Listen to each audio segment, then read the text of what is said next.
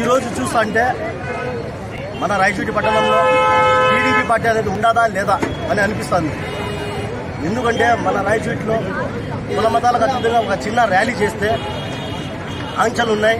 SP గారి permission ఉంది. ఎటువంటి ర్యాలీలు నిషేధం చేసి పెట్టారు. దాన్ని దృష్టిలో పెట్టుకొని అంతో ఇంతో మంది వచ్చినారు. కానీ పచ్చ చొక్కాలు వేసుకుని కొందరు శ్రీకాంత్ రెడ్డి అభివృద్ధి ఏది? శ్రీకాంత్ రెడ్డి ఏం చేసినాడు? ఏం చేస్తున్నాడు అని చెప్పి ఎన్నో మాటలు అన్నారు. ఈరోజు మీ కళ్ళు ఏమైనా మూసుకుపోయినాయా? మీరు ఉన్నారా? లేక పైకి పోయినారా? నాకు అర్థం కావడం లేదు.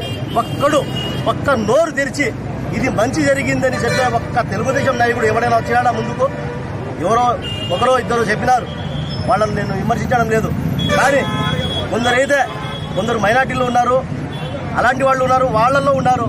ఒక్కడైనా సంఘీభావం పలికి ఇది మన జిల్లాకు మన రాయచూటికి మంచి జరిగింది అని చెప్పి ఒక్కడు కూడా చెప్పిన పాపాన పోలే. వీళ్ళని చూస్తుంటే మళ్ళా వీళ్ళు ఏదేదో హితబోధనలు చెప్తారు. అభివృద్ధి ఏది అంటారు అది ఏది అంటారు ఇది ఏది అంటారు. మీరు ఏం చేస్తున్నారు? గాడిదలు కాస్తున్నారా? నేను చెప్పదలుచుకుంటున్నా. మీరు కానీ ఒక్క మాట మాట్లాడే అర్హత కూడా మీరు పోగొట్టుకున్నారు.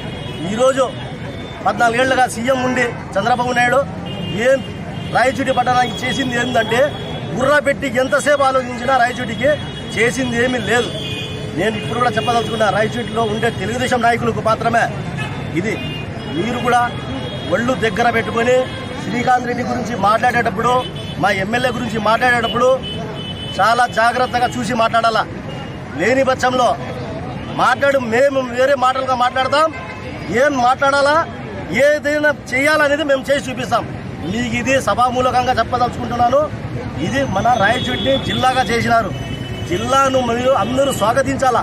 అలాంటిది పోయి పొద్దున్నే లేస్తేనే ఒక టేబుల్ కాడ కూర్చొని ఒక వెనకాల టీడీపీ బ్యానర్ కట్టుకొని రోజు ప్రసంగాలు చేయడం గాడిదలు కాయడం అంత తప్పితే మీకు ఏ పని లేదు. దయచేసి చెప్తున్నాను మంచి జరిగితే ఎవరైనా మంచి చేస్తే మంచి చేయాలని చెప్పండి. ఓటు వేసే పని వచ్చి ప్రజలకు ఉంది. ఓటు వేసేది ప్రజలు వేస్తారు. అది ప్రజల నిర్ణయం. ప్రజల నిర్ణయాన్ని మనము అది దేవునికి వదిలేయాలి. ఓటు వేసేటప్పుడు రాజకీయం చేసేటప్పుడు రాజకీయం చేయండి. అంత తప్పితే అని వలన సభలు పెట్టుకొని పన్నెండు వలన మీటింగ్లు పెట్టుకొని చెత్త చెత్తగా మాట్లాడటం మానుకోవాలని నేను హితూ అనుకుంటున్నాను నా మాటలు మీకు బాధ అనిపిస్తాయి. కాకపోతే సంతోషకరమైన సమయం ఇది. సంతోషం చేసుకోండి జిల్లా అయింది. ప్రతి పది మందికి ఉపాధి దొరుకుతుంది. అన్ని విధాలా డెవలప్ అవుతుంది. అందరూ అర్థం చేసుకోవాలని కోరుకుంటూ ఇంకొకసారి